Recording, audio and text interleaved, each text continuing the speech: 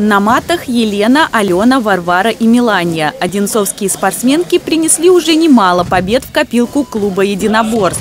Останавливаться на этом не собираются. Соревнования у нас э, проходили в Питере. Ну, было сложновато, конечно, но мы справились. У нас была хорошая подготовка.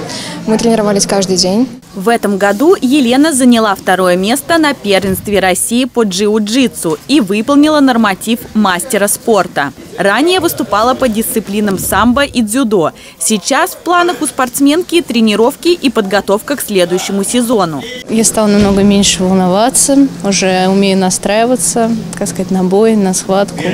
Ну вот. И очень уже проще, как сказать, своими эмоциями совладать.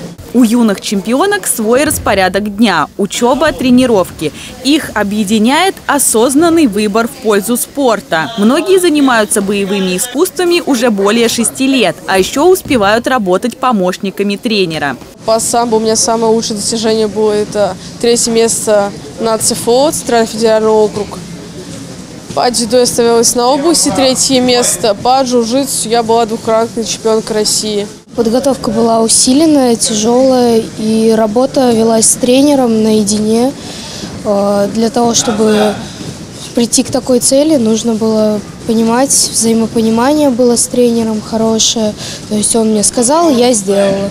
Действительно, работа с тренером – это основа основ. К девушкам нужен индивидуальный подход. Подбодрить, правильно настроить на схватку – важно все. Тренер Дмитрий Кущаев всегда поддерживает своих воспитанниц. У девочек это психология в, основ, в основе своей лежит, да. И результат, результат зависит именно от этих качеств стабильности или нестабильности.